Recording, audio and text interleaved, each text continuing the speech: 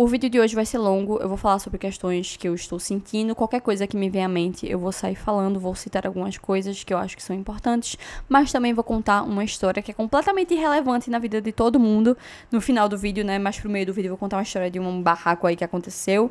E vocês gostam de fofoca, então eu vou contar. Não deveria, porque eu não devo, é, tipo, dar atenção a esse tipo de gente, mas eu vou contar pra vocês, vai. Vou me defender, digamos assim. Vocês vão entender lá pro meio do vídeo. E é isso. Bem-vindos a mais um audiocast. Eu já cheguei na minha cidade, mas a minha cabeça ela ainda tá lá. Porém, não é do jeito que vocês imaginam. Eu imagino que vocês estão tipo, ai, ela foi para São Paulo, daí ela voltou para Recife e nossa, com certeza ela deve deprimir, ela vai ficar triste, porque São Paulo é muito melhor, São Paulo é incrível. É, ela vai ficar é, infeliz por ter voltado para casa dela. Hum, será? Vamos lá. Desculpem o barulho no fundo, é que, nossa, faz muito barulho aqui e em São Paulo também. e tá de dia e de noite eu vou ter que sair, então eu não vou ter tempo de gravar esse vídeo. Então vai ficar com barulho no fundo mesmo, de carro, de, enfim, essas coisas, né? Mas o microfone ele até que isola bem. Bom, voltando ao tópico. Eu resolvi escrever sobre a minha experiência e como eu me senti na minha viagem que eu fiz para São Paulo, porque caso contrário, eu acho que eu vou explodir. E como eu sempre repito essa mesma frase, eu vou repetir de novo. Quando a gente fala, a gente se escuta e elabora. E a palavra, ela cura, ela é terapêutica. E esse exercício de escrever e me ouvir é terapêutico para mim. Então, quem quiser ver um vídeo mais superficial, assistam ao vídeo que eu postei de vlog. Nesse vlog eu converso com vocês, eu faço a minha mala, eu mostro a viagem. É um vídeo mais uhul, São Paulo, Café da Hello Kitty na Liberdade, yay, Galeria do Rock, sabe uma coisa mais assim.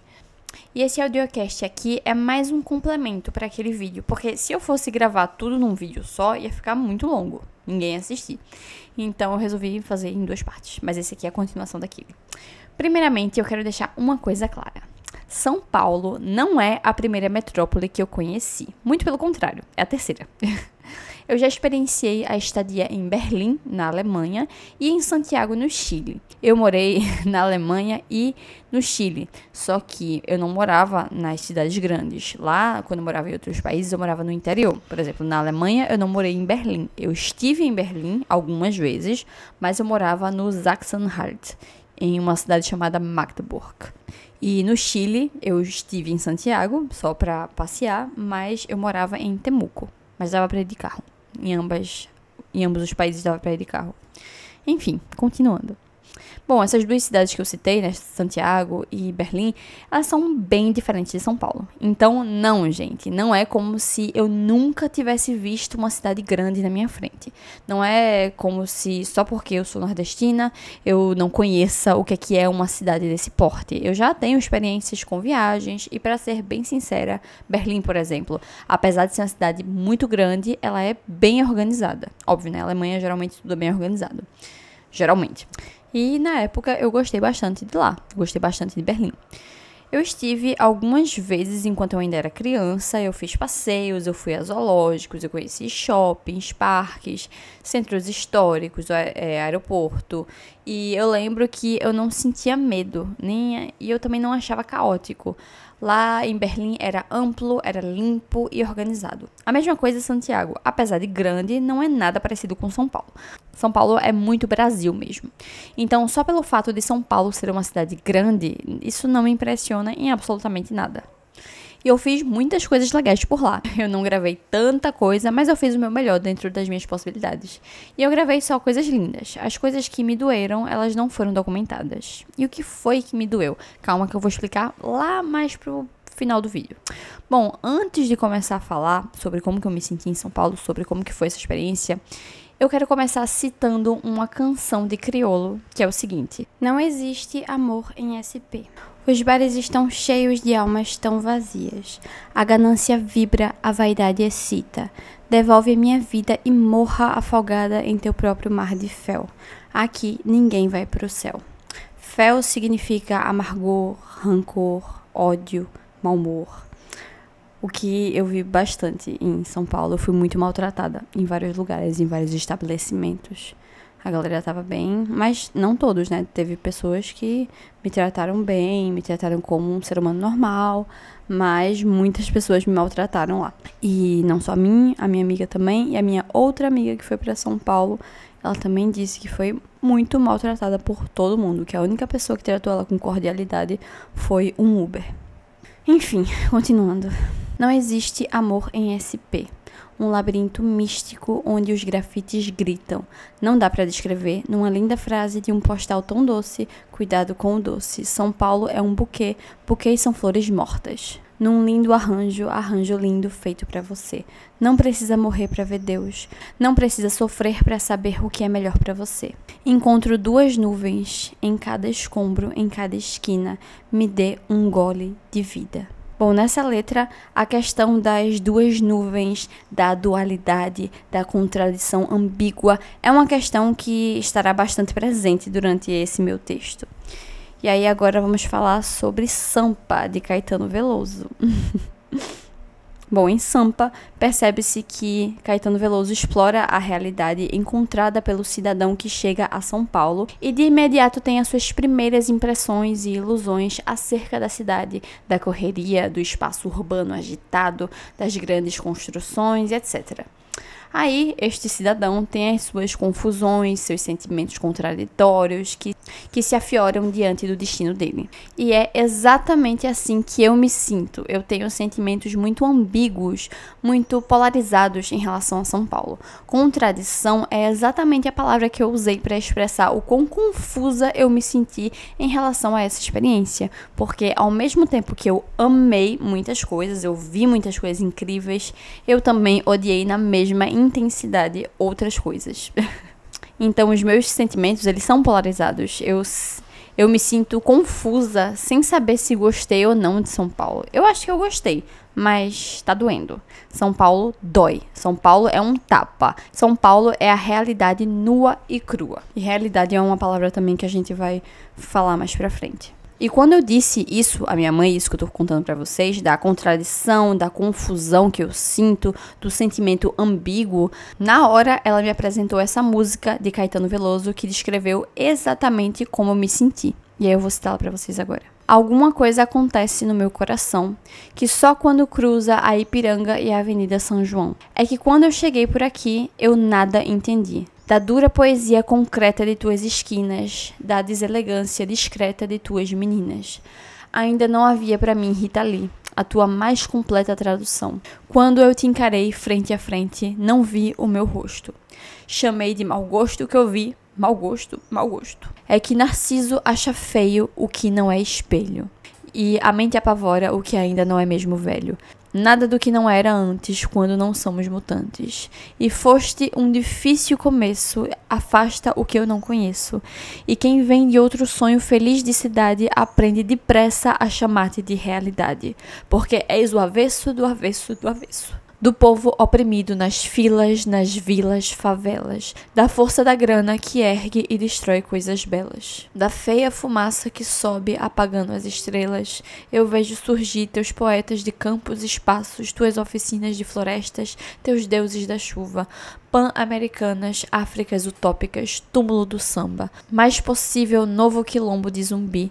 E os novos baianos passeiam na tua garoa, e os novos baianos te podem curtir numa boa. É uma letra bem profunda. eu fico muito emocionada sempre que eu escuto. E ela requer uma análise mais elaborada.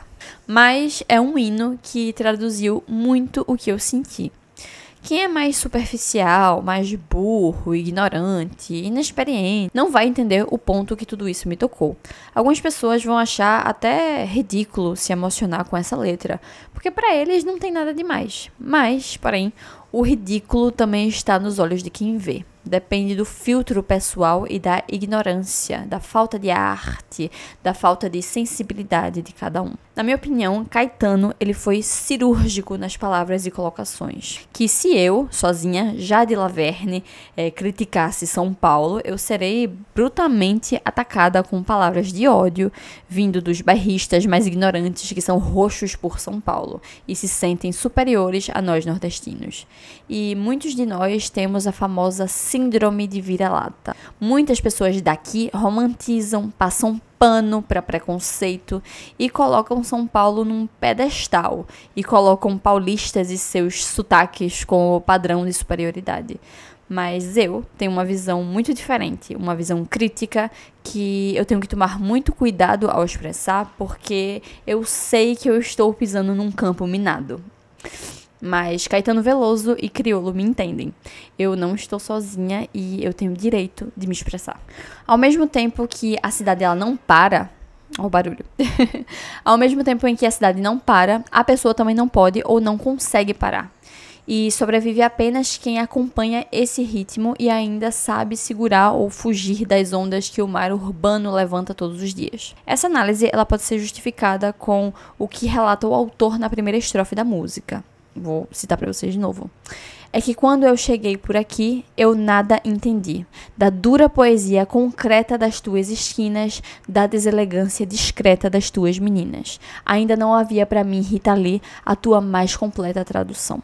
Tendo em vista o fragmento acima, né, pode-se descobrir que, diante de algumas possibilidades, o termo concreta remete-nos a observar o contraste entre o espaço urbano, com os seus edifícios e construções enormes, e o espaço rural, que é mais calmo, de construções simples, tanto quanto as próprias pessoas que ali vivem. Bom, por outro lado, é possível depreender, então, que as cidades elas vão se formando assim um aglomerado de concreto, seja na forma física, seja no estabelecimento de relações humanas da sociedade, visto que tais relacionamentos humanos têm revelado um homem mais duro e insensível com o seu próximo. Eu já sabia disso, mas. Porque isso é óbvio, né? Mas ir para São Paulo me fez relembrar, reaprender e reforçar o quanto as pessoas são extremamente egoístas. Egoístas, autocentradas, autorreferentes, afogadas no seu próprio egocentrismo. Egoísmo no sentido mais literal possível. E aí vamos de novo para uma frase que ela me tocou bastante, que foi o seguinte: Narciso acha feio o que não é espelho. Vamos lá. Narciso acha feio aquilo que não é espelho. Essa reflexão do espelho é uma coisa que não sai da minha cabeça. Ela tá no ar, ela tá em mim há muito tempo e tem sido um tema muito recorrente para mim. E aí eu tô falando da questão da projeção. O quanto as pessoas projetam em mim as frustrações delas, os seus próprios conflitos internos, a sua, as suas insatisfações que eu, Jade Laverne, não tenho culpa. Na minha opinião, não tem nada mais feio do que alguém tratar o outro mal por inveja. Eu sinto muito que as pessoas que têm antipatia por mim, elas criam esse ódio, essa competição, essa rivalidade feminina, nem sempre feminina porque homens também fazem isso comigo, mas eu sinto que eu provoco nas pessoas que já têm predisposição a serem é, infelizes pelos seus, porque elas não gostam da própria vida, porque elas não gostam da própria aparência, porque elas queriam ser de outra forma, porque elas queriam estar na minha posição, no meu lugar, enfim. Essas pessoas, elas veem em mim e elas relembram o quão inexpressivas elas são. Eu lembro a elas o quão medíocres e eu faço elas lembrarem da própria insignificância e isso gera ódio, mas isso gera ódio mortal. Só que eu não faço nada disso de propósito. Na verdade, eu não preciso fazer absolutamente nada. Esse sentimento negativo que tá no outro, ele vem só pelo fato de eu existir, porque as pessoas não aceitam.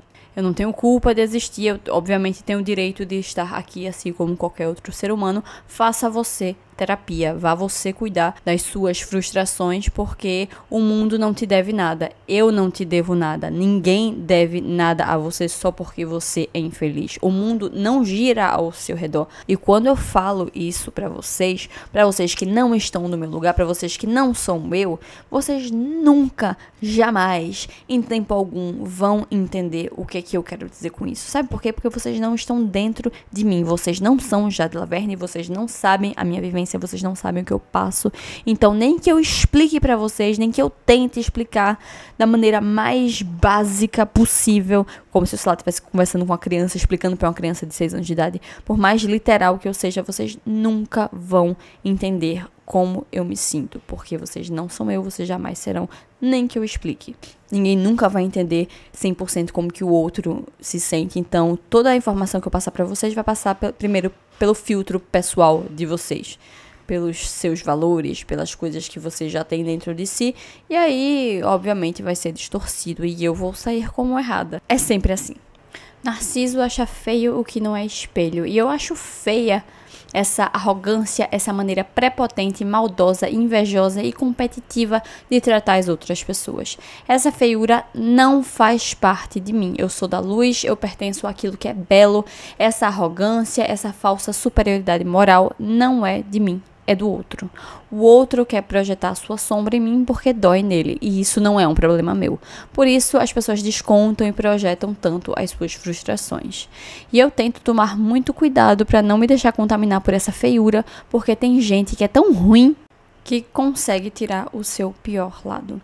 E eu fugi um pouquinho do tópico aqui, mas ao mesmo tempo tem a ver com São Paulo, porque em São Paulo eu passei por situações é, de presenciar esse tipo de conduta, porque eu fui muito maltratada de graça, não só por atendentes de lojas, de estabelecimentos, como eu já falei, não foram todos. Tiveram pessoas muito legais que me trataram muito bem, que foram adoráveis, amáveis, que pediram para tirar foto comigo, que me elogiaram. Fui muito elogiada em São Paulo. Encontrei pessoas maravilhosas, eu fiz amigos, mas eu também encontrei muita alma cebosa.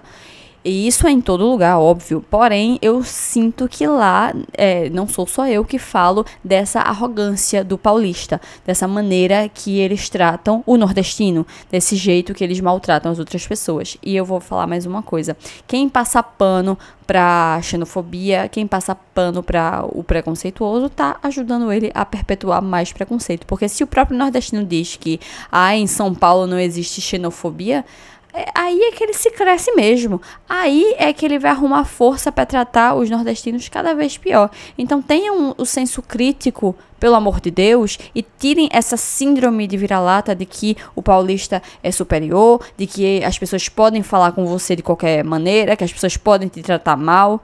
Porque não é assim. Você não tem que permitir e você não tem que tirar por menos e passar pano de ai, ninguém tá fazendo nada demais. É você que é muito sensível. É você que tá vendo maldade. Não façam isso. Que coisa feia. E não se calem em situações de injustiça. Parem de culpabilizar a vítima.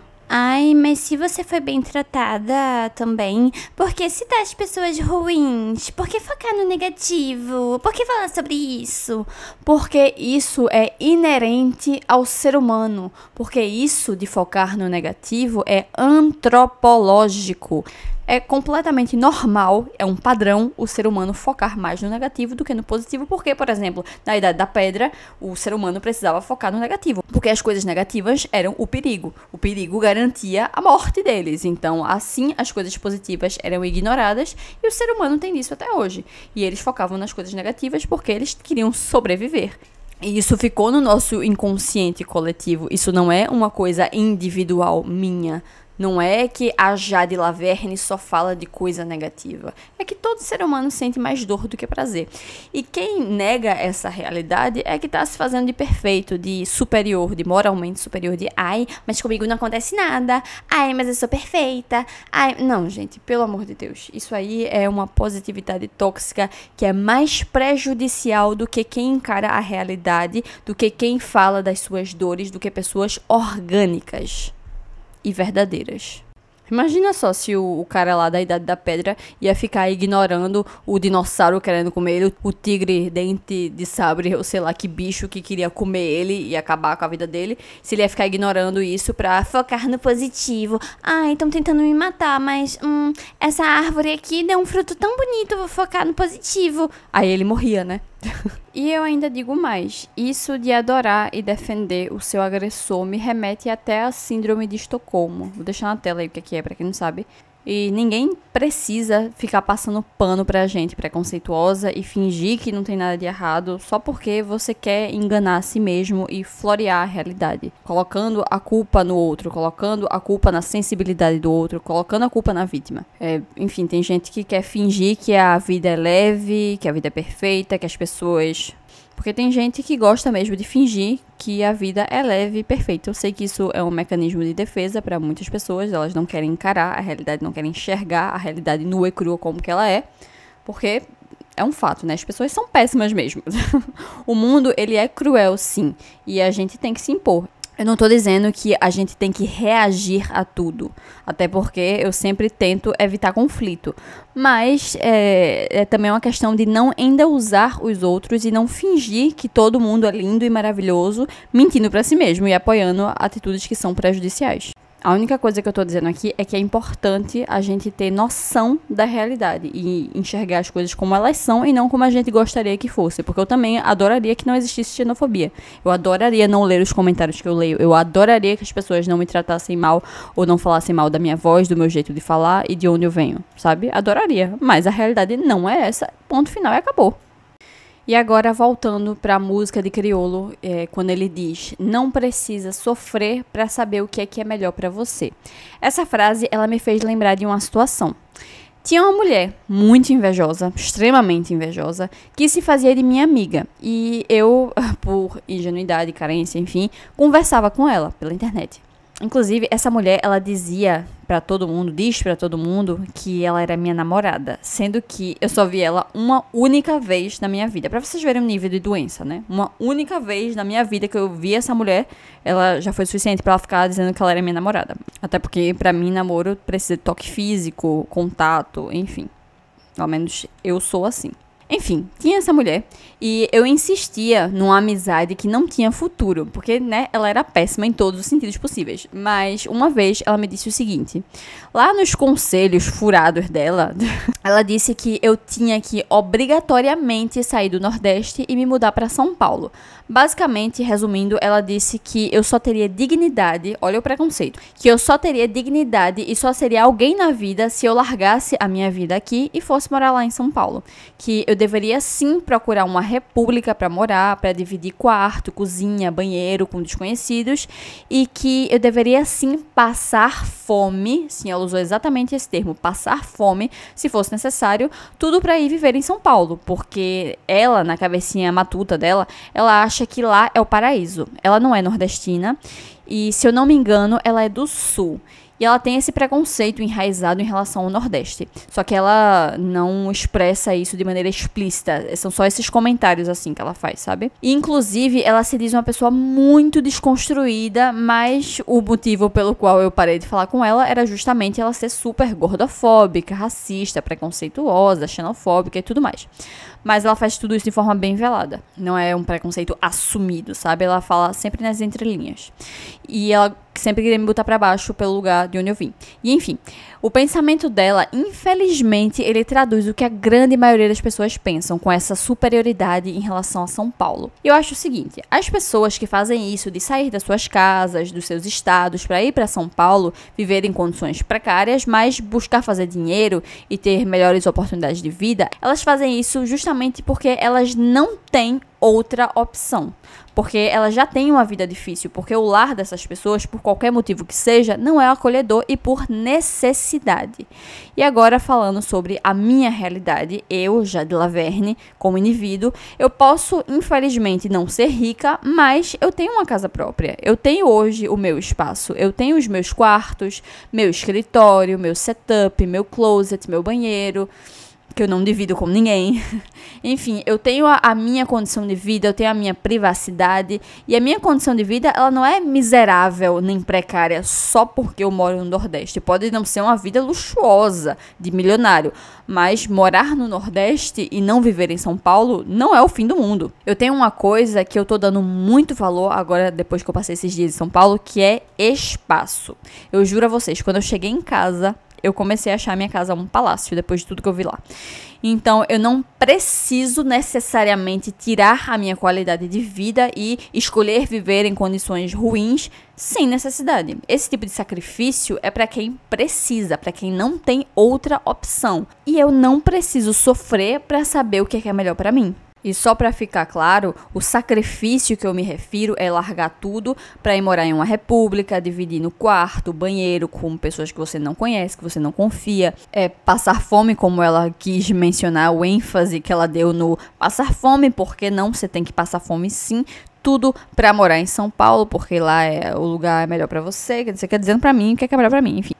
Eu não preciso sofrer. É aquilo que eu sempre digo, sofra só o necessário. E o melhor para mim não é ir morar em um lugar que eu não me identifico, por mais que eu também não me identifique com aqui, a cidade que eu vivo, eu não me identifico com o Chile, não me identifico com a Alemanha, que foram os lugares que eu morei o melhor para mim não é piorar ainda mais a minha sanidade mental com base em achismos xenofóbicos. Afinal, quem sabe da minha vida sou eu, ninguém mais. Não é mãe, não é pai, não é seguidor, não é hater, não é menininha invejosa da internet, não é ninguém, sou eu. E aqui eu vou ter que falar mais obviedades de novo, né? Que ninguém é superior só porque é do Sudeste. Ninguém é superior por ter determinado sotaque. E não, pela milésima vez, o meu sotaque não me torna feia, como muitas pessoas já me falaram aqui na internet. O meu sotaque não me torna errada. É feio, de verdade mesmo, feio é o seu preconceito. Gente preconceituosa é feia por dentro e por fora. Parece que a, a feiura externa reflete já a podridão interna. E quem tem esse tipo de opinião antiquada, de falar mal de nordestino, de sotaque, enfim.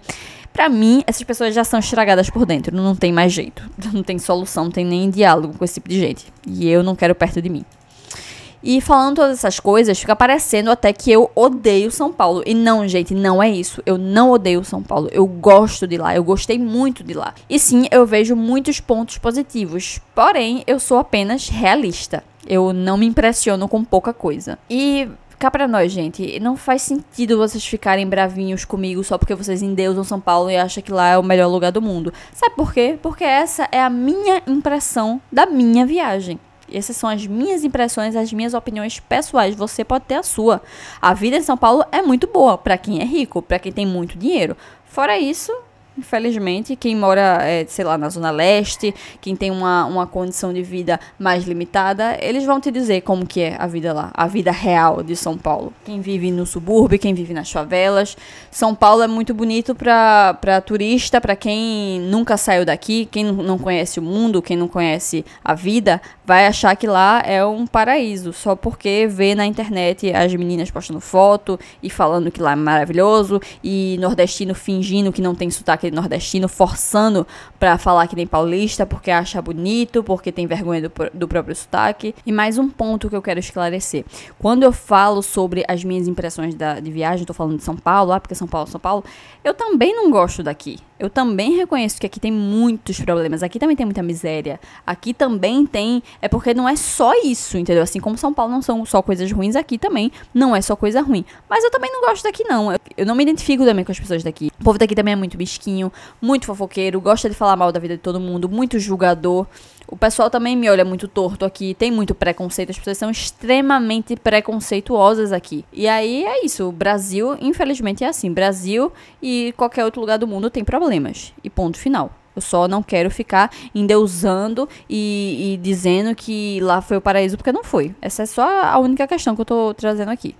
E o que foi que me doeu tanto em São Paulo? Eu vou contar algumas coisas. São Paulo, como assim como todas as cidades do Brasil, é porque é isso que eu disse para vocês. O povo acha que São Paulo é outro país, que age como se viajar para São Paulo fosse uma viagem internacional. São Paulo é Brasil. São Paulo é a cidade mais Brasil que eu já vi na minha vida. E o Brasil tem muitos problemas sociais, econômicos, políticos, etc. Isso aí eu não preciso dizer, isso aí tá óbvio, né? Até a pessoa mais ignorante sabe disso. E aí que, que acontece? Em São Paulo tem muita miséria. Ai, mas na sua cidade não tem? Tem também. Lógico. É Brasil igual? Lógico, tem miséria também. Mas em São Paulo eu vi muita coisa triste e mexeu muito, muito, muito comigo. Eu vou até tentar filtrar as palavras aqui porque eu não quero chorar, mas eu tô há uns dias já chorando, porque na hora eu reprimi Na hora eu não ia ser compreendida pelas pessoas ao meu redor. E não tem para que falar das minhas dores, porque as minhas dores, quando confidenciadas para alguém que você acha que pode ser seu amigo, não caia nessa, né? quando você acha que pode confidenciar as suas as suas questões mais profundas, as pessoas elas vão usar isso contra você. Então, se preserve. E foi o que eu fiz. Tentei fazer, pelo menos nessa situação. Eu tava indo pra Galeria do Rock. Eu vou até ver no mapa onde que fica a Galeria do Rock, mas é centrão de São Paulo. É perto do Teatro Municipal de São Paulo.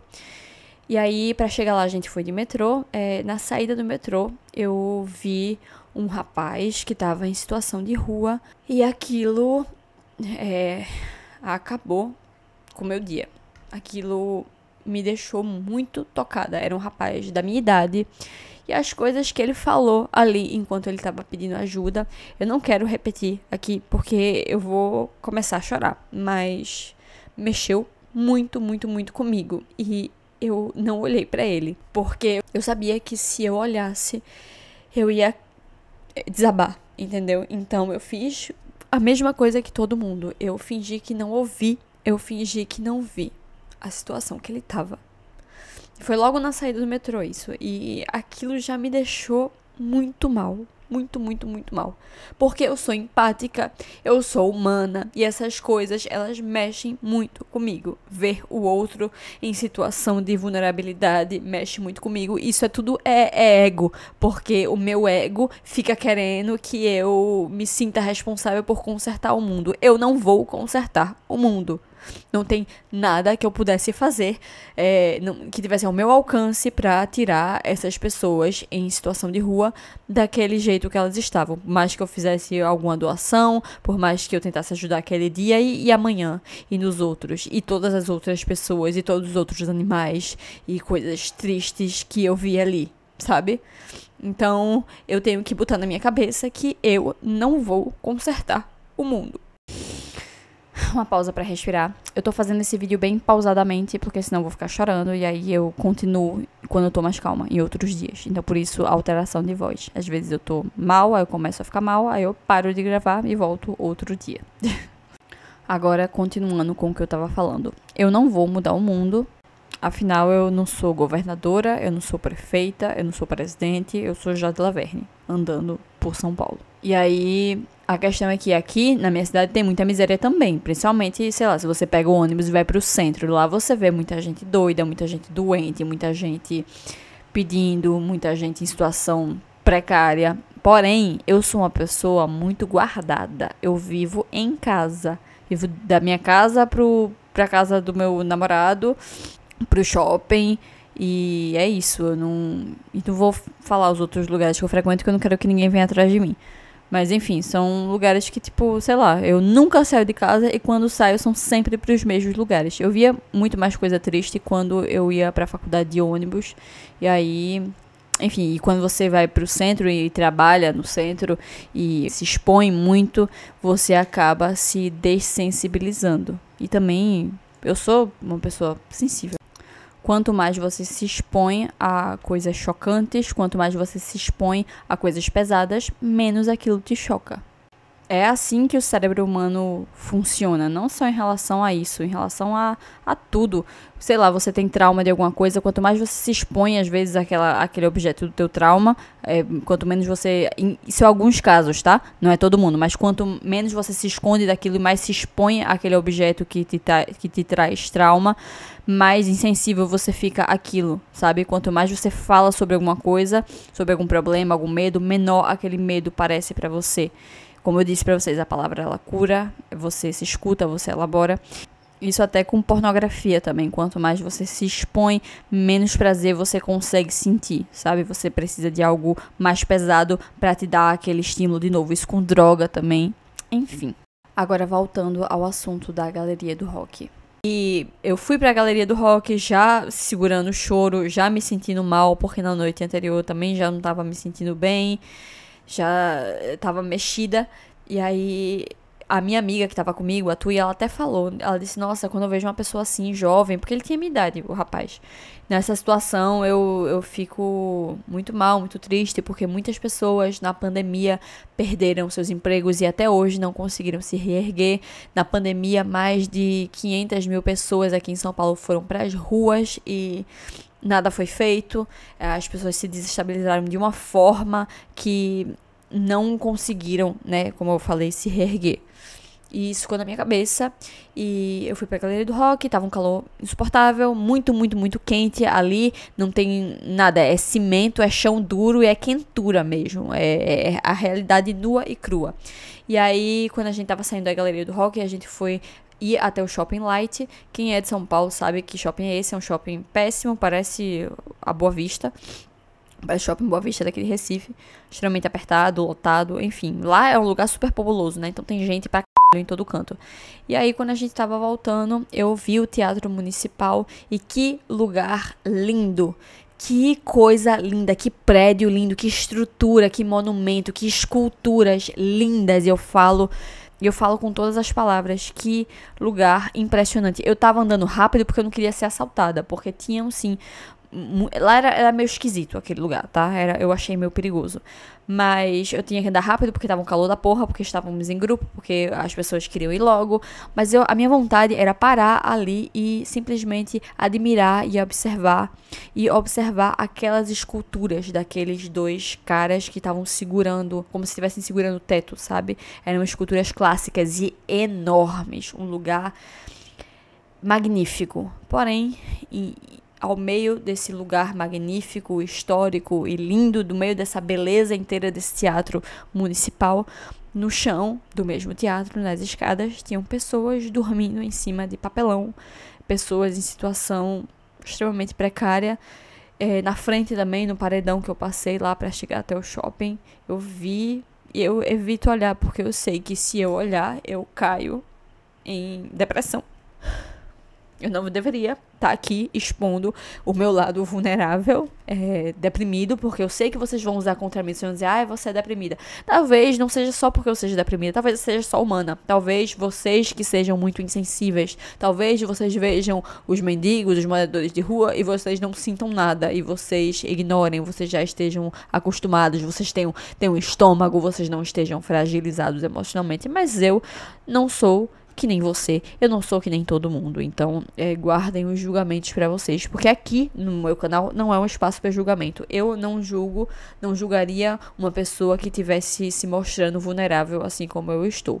Porém, vocês não vão agir da mesma conduta que eu, né? E é muito triste, muito triste. Muitas pessoas em barracas, pessoas que estavam ali muito mal, não é só droga. E olha, gente, olha que eu nem fui pra Cracolândia, tá? Olha que eu. E Cracolândia é um assunto que me mata. Eu gostava de assistir antigamente Verdades Secretas. Mas eu sempre pulava ou evitava reassistir, porque tinha uma parte de Verdades Secretas, que é um, isso era uma série da, da Globo, que é muito boa. Mas tinha uma parte de Verdades Secretas que era sobre a Cracolândia. Eu me emocionava toda vez, porque é muito triste, é muito doloroso. E aí eu reprimi na hora que eu passei por esses moradores de rua, na hora que eu vi o teatro municipal e vi as pessoas ali naquela situação, deitada ali, é, sem perspectiva nenhuma de vida, eu reprimi, eu engoli a seco, fingi que não vi e fui pro shopping comer. A comida não descia. Eu comprei um hambúrguer lá pra mim, a comida não descia. Eu mastigava, mastigava, não descia. A minha amiga, a, Tui que tava comigo, é, ela olhou assim, falou, tipo, ah, Jade, você, você tá mais quietinha hoje, você tá bem. Eu falei dela, pra ela uma outra situação que eu me senti desconfortável, mas não era só isso, era todo o conjunto, era a feiura, era a visão cinza que eu tava vendo de São Paulo. Daí vocês vão ficar tipo, ai, tadinha da Jade, nunca vi um mendigo, hein, hein, tá assim só porque viu morador de rua. Que é que tem? Vão, obviamente, debochar do, da, do meu sentimentalismo da minha maneira de enxergar as coisas. E eu sei disso, a partir do momento que eu exponho, eu estou suscetível a receber todo tipo de julgamento, mas eu senti vontade de expressar aqui o porquê que eu não vejo São Paulo como as mil maravilhas, sabe? E eu voltei meio perturbada, entendeu? E me deu gatilho, me gatilhou total ver essas pessoas assim. E olha que eu nem fui pra favela. É, eu tenho uma amiga que ela já visitou a Rocinha no Rio de Janeiro, que é uma comunidade bem famosa, enfim, vocês devem saber qual que é. E ela disse para mim que ela se sentiu mais à vontade lá na comunidade da Rocinha do que no centro de São Paulo. Eu sei que são estados diferentes, mas é só para vocês entenderem o nível. Inclusive tem essa foto aqui famosíssima de todo o livro de geografia que é a divisão entre Paraisópolis e, se eu não me engano, é Murumbi. Eu estive em Murumbi, eu não estive em Paraisópolis, mas eu, eu conheci Murumbi, porque eu tava por ali. Inclusive, eu acho Paraisópolis um nome muito bonito. Muita gente vai para conhecer também, sabe? Porque é bem famosa, sabe? Tipo, os gringos vão para conhecer. Eu não sei se a galera considera isso certo ou errado. Eu tenho vontade de conhecer também. Tenho vontade de conhecer muita coisa. E eu lembro que uma vez me falaram que a coisa mais bonita que tem na favela são as pessoas. Eu concordo plenamente. Eu também tenho vontade de conhecer a Sé, mas não tanto, porque eu achei melhor não fazer isso. Sabendo do quão sensibilizado eu já estava. E eu me recusei a ir pra Sé, porque eu sabia que se eu fosse pra Sé, eu ia voltar arrasada. Eu ia voltar arrasada. Porque o que é que tem na Sé? Tem uma catedral muito linda, muito maravilhosa. Eu não ligo muito pra igreja, não vou mentir para vocês. Eu não tenho esse encantamento todo por igreja, não. Eu gosto de esculturas. Esculturas mexem comigo e me fazem chorar de emoção pela beleza, pelo encantamento que aquilo me gera. Mas igreja católica, igreja, sei lá o que, eu não ligo muito não. Mas enfim, tem uma catedral lá, muito bonita, muito histórica, e ao mesmo tempo que tem a catedral, é a mesma coisa do teatro municipal. Tem pessoas ali em situações que eu não vou nem comentar, em situação de rua e muito mal, né? Dormindo em cima de papelão e implorando por ajuda e sendo ignoradas pelos demais, porque ninguém quer ver. Todo mundo passa por eles e finge que não vê, que não são pessoas. É como se fosse um lixo, um lixo humano, sabe? Como se fosse um pedaço de papel. E é isso, se eu fosse pra Sé, ia ser a, a ideia mais idiota que eu teria, que alguém, que tiveram, na verdade, porque queriam, porque queriam que eu fosse pra Sé. Aí eu fiquei falando, é fazer o que na Sé? Fazer o que na Sé? Ai, é, conhecer, você tem que conhecer, tirar foto. Eu fiquei tipo, é, tirar foto com o teu celular, né? Só se for, porque eu não vou ali pra ser assaltada, não, tá bom? E outra coisa, a minha amiga que mora em São Paulo, ela disse pra mim: Olha, Jade, eu não te recomendo de forma alguma, em hipótese alguma, que você vá para Sé em nenhum horário, seja de manhã, de tarde, muito menos à noite e à madrugada. Não vá. E eu não fui. Eu só fui pra luz porque eu tive que ir no metrô, mas, tipo, foi dentro do metrô. Então, eu tava dentro do local lá. Porque do lado de fora é a Cracolândia, né? A Cracolândia tem vários pontos.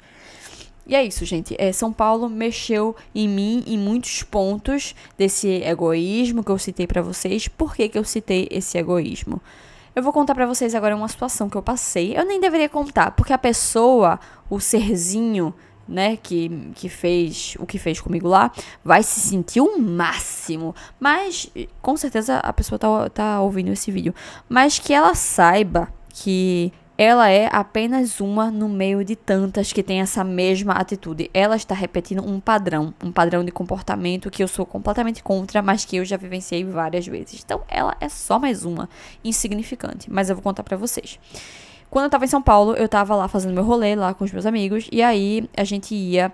É, a gente foi num, num, rodízio, comemos e depois fomos para um shopping que era perto, era o shopping Murumbi. E aí eu recebi muitas DMs no meu Instagram de pessoas, de seguidoras, seguidores dizendo: "Ai, ah, Jade, você tá em São Paulo, quero muito te encontrar", etc.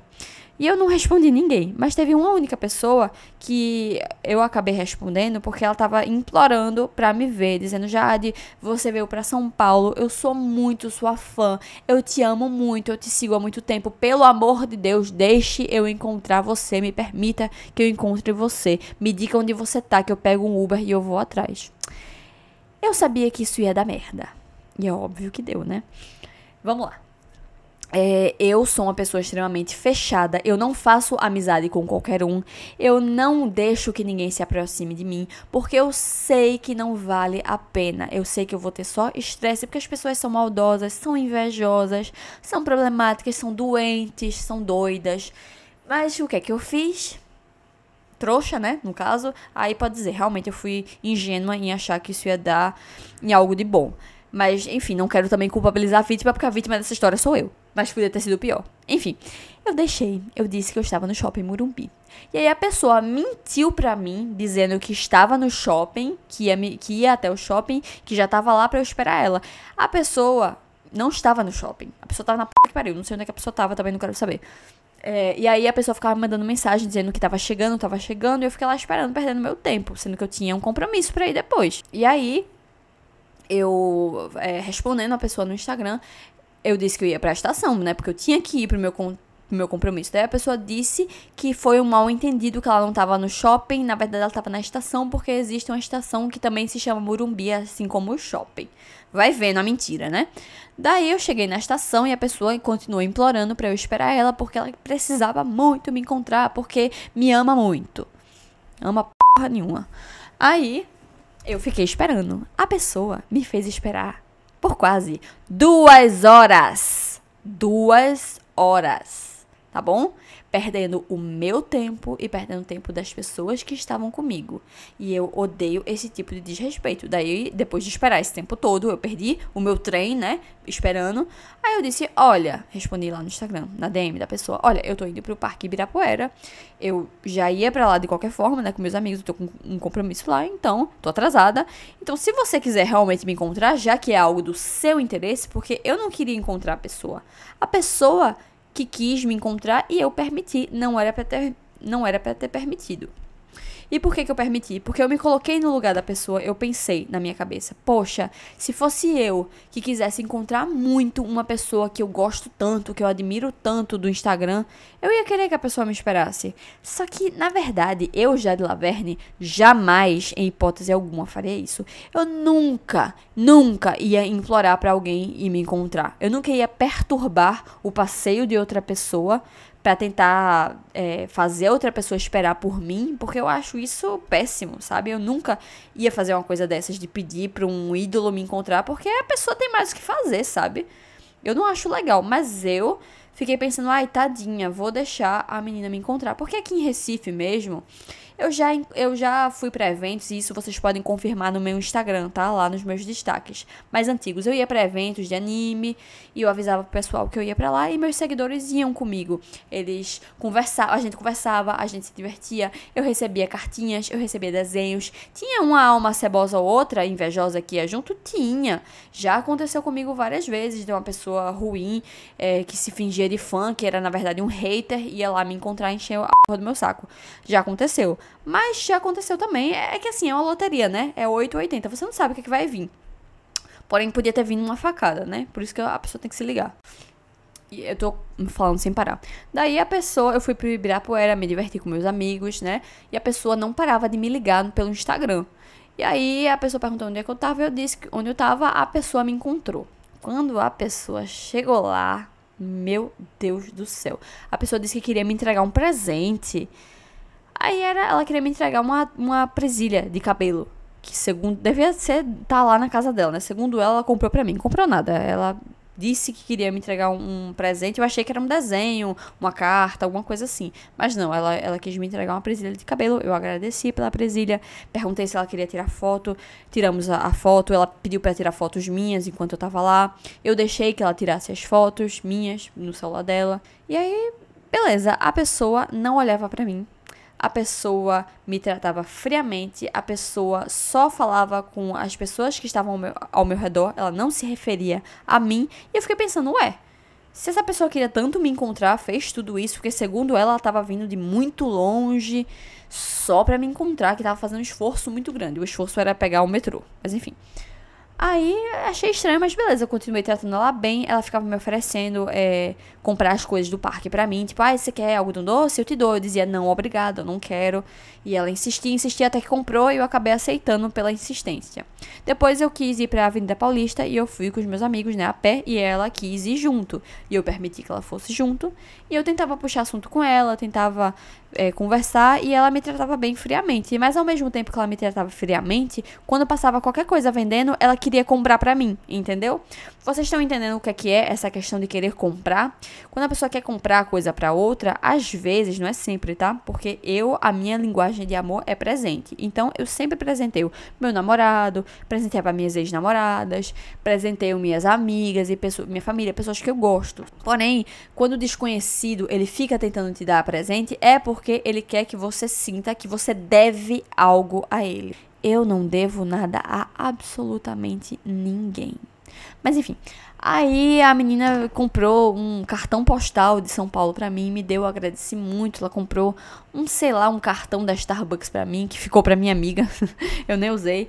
Ela, enfim, ficou me oferecendo mangá, eu disse que não queria, eu não aceitava nada. E ela insistia ao máximo. Daí eu pensei, ai, tadinha, ela tá tentando fazer uma conexão comigo, ela tá tentando se conectar comigo, né? A bichinha. ingênua, bem ingênua eu tava sendo. E eu tava com o pressentimento que isso ia dar ruim. E deu bem ruim. A menina foi embora e depois ela quis encontrar comigo de novo. Eu perguntei: Ah, eu, eu vou pra Liberdade amanhã. É, você quer ir? Se você quiser, tudo bem. Que eu ia encontrar com um amigo meu lá na Liberdade. E aí ela quis ir junto e ela foi. Ela chegou, eu cheguei na estação, ela tava lá essa menina, ela tinha visto que eu tinha postado no meu, no meu grupo do Instagram e nos meus stories, eu tinha postado uma caneca que vendia na Liberdade. Sem eu pedir, sem eu dizer nada, ela foi na Liberdade e comprou a caneca e quis me dar. E eu tava meio assim, tipo, meu Deus, não, preci não precisava. Eu falei várias vezes, não precisava me dar nada. Porque, gente, eu vou falar para vocês uma coisa. Bens materiais não me impressionam e olha que eu sou uma pessoa materialista. Bens materiais não me impressionam em nada. Eu vou dizer para vocês o que é que me impressiona. O que me impressiona é doçura, é a maneira que as pessoas tratam as outras com afeto, com carinho, com boas intenções, com, com gentileza. Sabe gente legal, aquela pessoa que a presença dela é prazerosa, aquela pessoa que tem um brilho próprio, que é engraçada. Nossa, pessoas engraçadas me conquistam muito, pessoas autênticas não se pode forçar autenticidade, não se pode forçar amizade porque tem que ser orgânico, tem que ser verdadeiro, tem que ser real. E bem material para mim, gente, que recebo coisa todo mês, que tenho tudo já, isso não me impressiona. O que me impressiona é a maneira que você trata os outros. O que te torna bonita, o que te torna bela é a maneira que você trata as outras pessoas. Ponto final e acabou. Para mim é isso. Agora isso sou eu, né? E aí eu fui para um café com o meu amigo. Meu amigo tava me esperando lá no café. É 89, eu não lembro. É um café que tá bem perto da estação. E é um café que tem, nossa, tem uma comida muito gostosa lá, tem bolos muito incríveis, tortas. Eu comprei um bolo para mim. E o que, que acontece? Nesse café tem um, um, sistema de comanda. E aí a comanda é tipo uma ficha que você tem que passar numa catraca. E nessa comanda você anota as coisas que você consumiu. Você só pode sair do estabelecimento com a comanda. Eu subi as escadas e eu fui no banheiro. A minha comanda, cada um tinha a sua, a sua, fichinha. A minha fichinha, eu acho que quando eu abri minha bolsa, ela acabou caindo e eu não percebi. E aí, é, quando assim que eu percebi que eu não estava com a fichinha para pedir a minha comida, eu, eu comecei a dizer pro meu amigo: Eita, amigo, eu acho que eu perdi a minha comanda, o que é que eu faço? Eu fui procurar um funcionário. Daí eu desci as escadas. O meu amigo desceu atrás de mim dizendo: Jade, olha, eu acho que eu achei a sua ficha. Tinha uma ficha em cima da mesa. Eu acho que a sua fã e o namorado dela, porque tava a, a fã e um namorado aí. E cada um se supõe que estava com a sua fichinha na mão, né? E aí meu amigo disse: Olha, eu acho que eles pegaram a sua sem querer e a, e a deles deve ter ficado aqui em cima da mesa. Então acho que é isso, foi um mal entendido. Vocês entenderam, né? O que aconteceu? Aí, beleza, quando eu desci, eu usei a ficha que meu amigo me deu, que ele achou que era minha, e fiz meu pedido e paguei e tudo bem. Daí eu pude sair do local. Sendo que essa menina, a fã, ela não tava com a comanda dela, porque o meu amigo acho que pegou a dela e me entregou. Daí ela começou a surtar comigo, começou a gritar comigo, a me tratar mal. Nossa, a menina foi super grosseira, começou a falar super rápido, alterada, nervosa, com ódio, porque eu, na cabeça dela, roubei a ficha dela, sabe? E por causa de mim, ela não ia mais poder sair do estabelecimento. Eles iam deixar a gente sair sim do estabelecimento. Qualquer coisa eu pagava essa porcaria dessa comanda. Eu ia perguntar quanto que é se perdeu a comanda. Na verdade é crime, né? Eles não podem cobrar isso. Mas eu ia dizer, quanto que é? Eu pago, né? Porque se o problema foi esse, a menina começou a surtar, me tratou com uma arrogância, começou a falar que eu larguei a minha comanda em qualquer canto, que eu sou irresponsável, que eu saí perdendo as coisas e que ela não podia procurar uma coisa que eu que perdi, que a culpa era minha. Grosseira mesmo. Meu amigo olhou assim, ele viu, achou nada a ver. A minha amiga que tava junto, porque eu tenho duas testemunhas, tá, gente? Disso que eu tô falando. Todo mundo achou ela uma invejosa. Pelo amor de Deus, não tinha necessidade desse surto. A menina só faltou vir pra cima de mim e me bater. Sério. Daí é, eu perguntei para os funcionários se alguém tinha visto. Os funcionários eles tinham já achado a ficha, sendo que eles reteram. Eles viram quatro pessoas procurando a ficha e mesmo assim eles reteram só para ver o circo pegar fogo, porque era, eram sádicos, estavam vendo que a gente tava procurando, que a gente tava nervoso ali, aperreado, que a menina tava gritando comigo por causa disso e mesmo assim eles não entregaram. Eu achei ela no caixa depois. E fui embora, né? Já tinha pago, fui embora. Daí a menina ficou com a cara feia pro meu lado. Tipo, a menina gritou comigo. Eu não falei nada pra ela. Eu mandei o, os funcionários, né? pra aquele canto, porque. E ainda mandei baixo, né? Eles nem escutaram, mas tudo bem. E a menina ficou com a cara feia pro meu lado, porque segundo ela eu fiz algo para prejudicá-la. E, nossa, a menina já tinha me feito esperar uma hora por ela, sabe? A menina era mó arrogante, mó grosseira. E aí eu tava conversando com meu amigo, porque a menina colou em mim, né? Eu tava conversando com meu amigo sobre livros, ele tava falando de uma viagem que ele fez, eu tava escutando ele. Daí a menina, do nada, chegou pra mim pelas costas e disse: Por que, que você tá brava? Porque ela, ela forçava um sotaque paulista, sendo que ela era nordestina também, mas ela fingia que tinha um sotaque de São Paulo. Por que, que você tá brava? Ela falava assim. E aí eu disse: Eu? Eu não tô brava. Eu pensei, ela que tá brava, né? Ela que quase me engoliu ali, gritando, sem necessidade alguma, me tratou muito mal. E aí, eu disse pra ela, não, eu não tô brava, não. E meu amigo ficou tipo, oxi. e aí ela disse, você tá brava sim. Ficou com raiva, pegou e foi embora. Eu fiquei tipo, meu Deus, o que é que eu fiz? Eu não fiz nada pra ela. Quando ela gritou comigo, eu nem reagi a ela. A única coisa que eu disse foi, não, a gente vai achar e a gente vai sair daqui sim. E fui perguntar à funcionária se ela tinha visto a da ficha. E aí foi isso, pô. Eu deixei a menina vir me encontrar, a menina me trata mal e começou a me difamar no Instagram, começou a falar mal de mim, me chamou de um monte de coisa lá que eu nem sei, porque eu nem vi, quem viu foi a minha amiga. Eu tinha até seguido ela de volta, bloqueei essa invejosa. A menina tinha um. Nossa, gente, eu não gosto de fazer o que eu vou fazer agora, tá? Mas eu vou falar as características dela. Ela tinha cara de uma pessoa desestabilizada. Eu acho que ela tem aí alguma questão mental. E o que é muito sério e o que tem. O que me dá muita pena, porque é muito triste a pessoa ser tão contraditória, a pessoa é, ter problemas de saúde mental e não se cuidar. Eu não sei qual tipo de transtorno ela deve ter, mas eu espero que ela se trate e que ela melhore. Mas ela era bem suja. Ela tinha mau hálito e eu não sei se isso era uma questão de saúde, seja física, é, se era só descuido mesmo, porque ela tinha os dentes bem amarelos de quem não, não escovava o dente. Eu não sei se é depressão, eu não sei se é algum problema mental, eu não sei o que é que ela tá passando, mas eu tive empatia por ela, sabe? Eu senti muita pena dela. Mas eu também achei injusto ela vir me tratar mal. Ela tinha mau hálito, ela tinha a aparência de uma pessoa que não tomava banho, ela fedia muito, ela tinha CC. E eu fiquei pensando que podia ser nervoso, que podia ser. Não sei, mas eu acho que era desleixo mesmo. Não era só é, falta de condição. Aquilo não tinha cara de pobreza. Tinha cara de uma pessoa que tem problemas mentais. E com doido a gente não discute, né? Por isso que quando ela veio gritar comigo, eu poderia ter revidado ali. Poderia ter imposto limite, ter dito: não fale comigo assim. Por que, que você tá gritando comigo? Por que você tá me tratando tão mal? Que eu só fiz tratar ela bem, sabe? Eu só fiz esperar os atrasos dela, só fiz aceitar os presentes presentes que ela queria me dar, que quis me dar um cartão, sei lá o quê. E aí a pessoa é extremamente ingrata, inverte a situação e faz tudo isso. Daí eu me culpei muito depois. Eu pensei, meu Deus, por que, que eu deixei essa menina me encontrar? Por que, que eu não ignorei ela assim como eu ignorei todo mundo que me mandou mensagem? Sabe? Eu, eu, tipo, me senti ingênua, porque eu sabia que isso não ia dar certo. A menina tava morrendo de inveja. Inveja. E não tem nada mais feio do que tratar as pessoas com grosseria.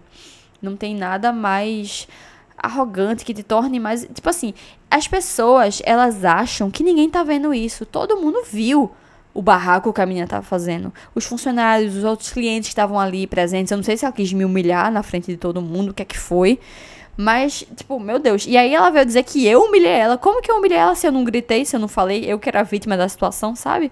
É isso, com doido a gente não discute, a gente só deixa a pessoa embora e eu espero nunca mais ter o desprazer de encontrar essa alma cebosa na minha vida. E aí foi isso, gente. Eu não devia contar essa história, porque a pessoa agora ela vai ficar se sentindo o máximo. Tipo, ai, a Jade contou uma história minha no canal dela. Mas como eu já falei pra vocês, é só mais uma, porque igual a ela tem um monte de menina com esse mesmo tipo de comportamento. Eu já encontrei cada doido que se vocês souberem. Mas, gente, essa menina não foi a pior experiência que eu tive em São Paulo. O que realmente me deixou mal mexida foi a questão dos moradores de rua, a questão da miséria, a questão da pobreza, a questão da, da falta de acesso que as pessoas têm. Isso mexeu muito com o meu psicológico. Tanto é que eu tô falando disso de novo.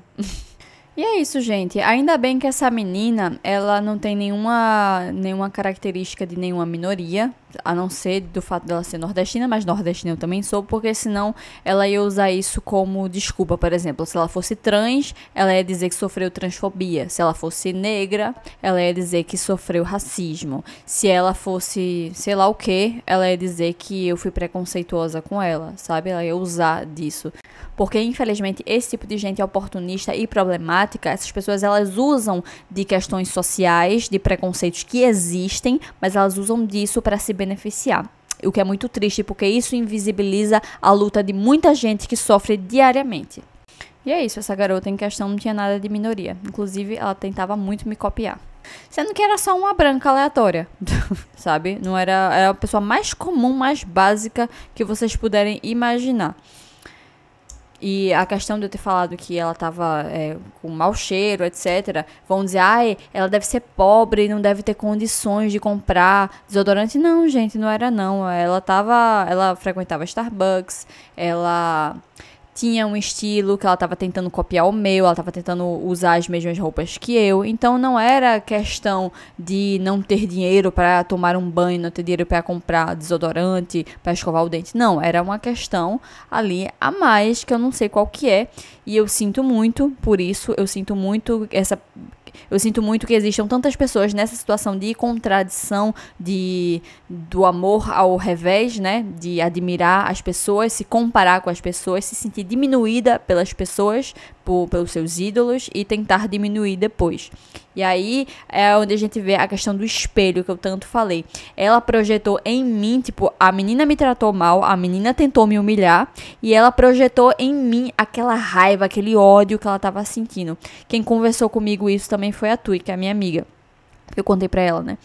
Daí é, ela veio, tipo, ela tava sentindo aquele ódio, aquela raiva de mim, que já era de outros carnavais, né? Que ela, essa menina nunca gostou de mim, sempre me odiou, nunca foi uma fã, nunca foi uma pessoa que me admirava, sempre foi uma pessoa invejosa. E aí, ela projetou aquele ódio em mim. Então, por isso que ela veio me perguntar: Você tá brava? Me perguntar não, ela veio afirmar que eu estava brava. Quem tava brava era ela, mas aí é onde tu vê o espelho, né? E é isso. É, Infelizmente já passei por outras situações assim que vocês não estão sabendo. Eu não conto esse tipo de situação aqui no canal, mas eu senti vontade e também não, não tô nem aí. Se quiser falar de mim, fale que eu recebo o print de tudinho processo. Se citar meu nome já sabe. Isso aí eu não deveria nem falar, né? Isso aí deveria chegar só de surpresinha. Mas enfim, só para dar contexto aqui aos meus seguidores. Nunca deixem as pessoas fazerem isso com vocês, tá? Busquem os seus direitos e tomem ações judiciais se for necessário, caso você esteja passando por uma situação semelhante à minha. Mas enfim.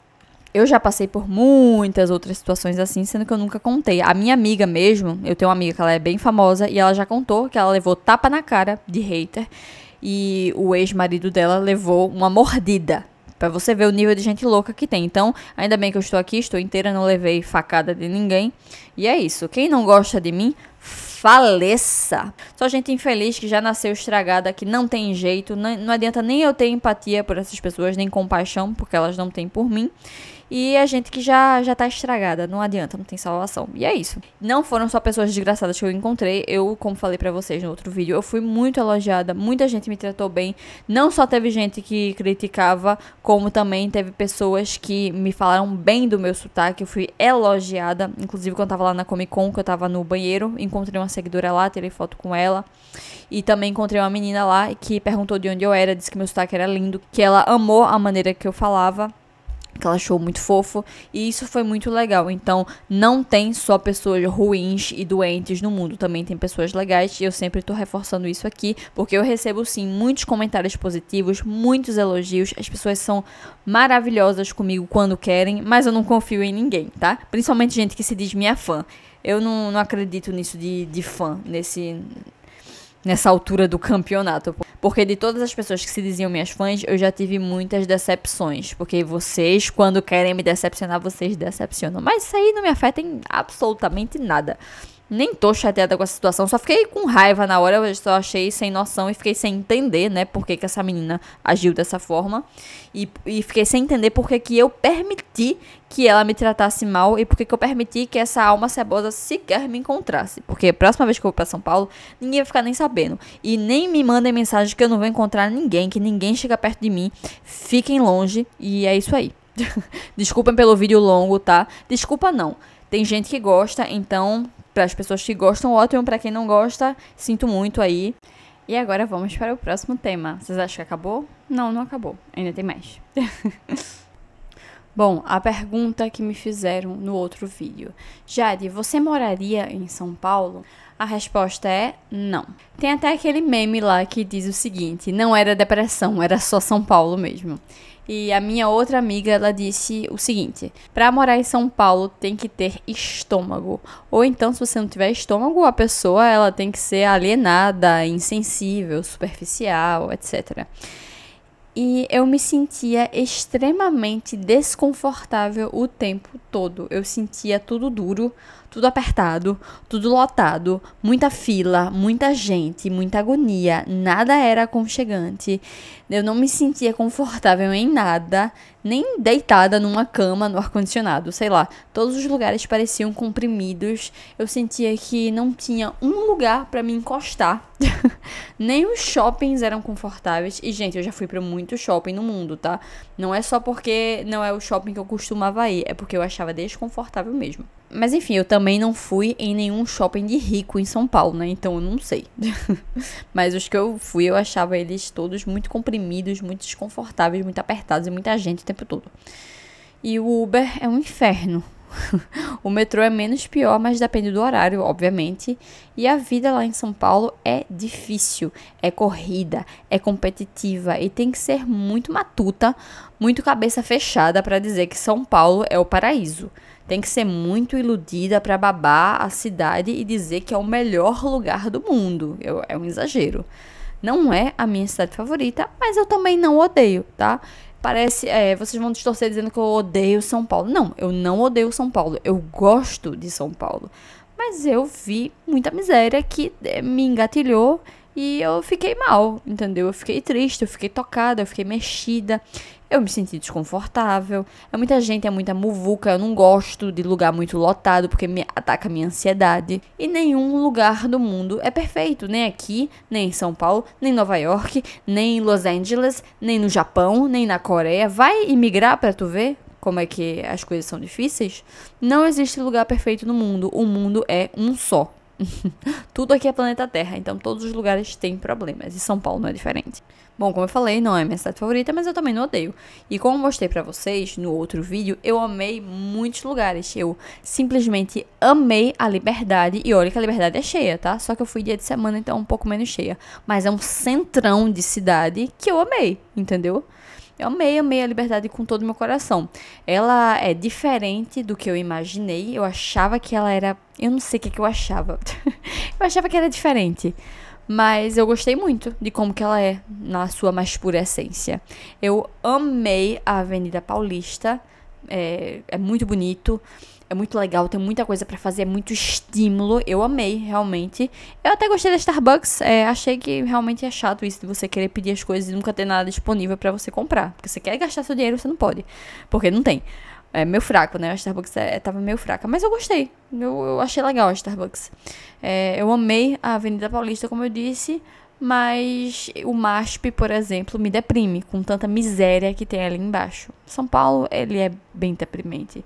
São Paulo é grana, como na música de Caetano Veloso, né? Da força da grana que ergue e destrói coisas belas. Essa frase foi cirúrgica, maravilhosa. Me tocou bastante. Mas agora eu não estou mais chorando, olha só, que avanço. E basicamente foi isso. Eu tenho muita coisa para falar, me fez refletir muito.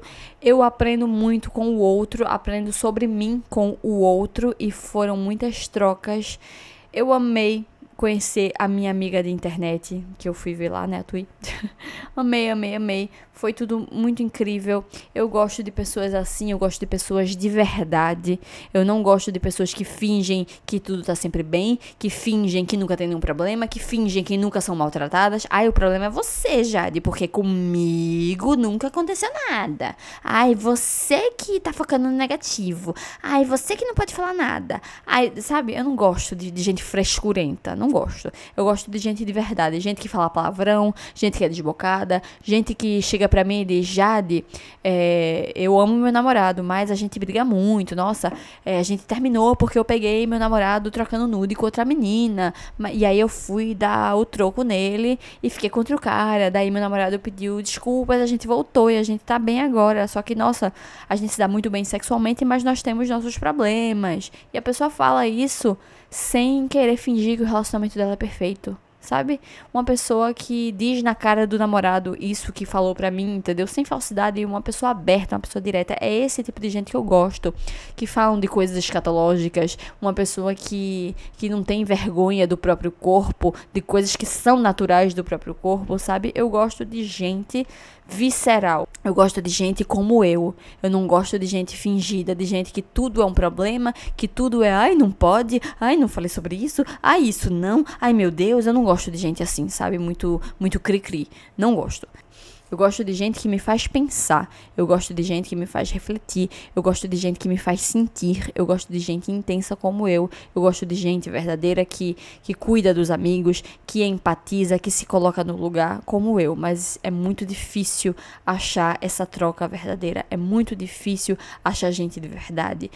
Achar gente que não é feita de plástico. Que na verdade não é, não, né? Porque ninguém é feito de plástico. Mas que quer ser feito de plástico. Que quer ser visto como um boneco de cera as pessoas têm uma ideia muito é, errada de mim. As pessoas acham que eu sou super superficial, é, burra, que só pensa em compras, que só pensa em recebidos, que só pensa em cabelo, em maquiagem. Penso em tudo isso também. Mas eu também sinto muito as coisas. Eu também sou uma pessoa muito aberta. Eu, infelizmente, não queria ser tão aberta, não queria ser tão empática, não queria pensar tanto no outro e colocar sempre o outro em primeiro lugar. Queria ser mais egoísta, queria ser mais plástica às vezes, porque talvez isso me defendesse e me protegesse da dor do mundo. Porque o viver dói, viver é extremamente doloroso. E é isso, gente. É, me estendi demais. Mais um vídeo de uma hora contando histórias que talvez eu não deveria contar, porque, né, vão usar isso contra mim, etc, etc, etc. Ninguém vale nada, enfim. Também todo mundo que diz que é minha fã, eu acho que é mentira. Eu vou ficar achando que é que nem essa menina louca e que nem todas as outras meninas doentes que me perseguiram e me perseguem até hoje, porque são grupos, né? E, enfim, só mais uma, tudo bem, foda-se. Pode falar mal de mim o quanto quiser, problema seu. Mas eu tenho muita coisa para falar ainda. Se vocês quiserem me ouvir, obrigada a quem escutou, obrigada a quem entendeu e a quem forçou para não entender. Um beijo para você também. Fique bem, melhor e faça terapia e vá viver sua vida.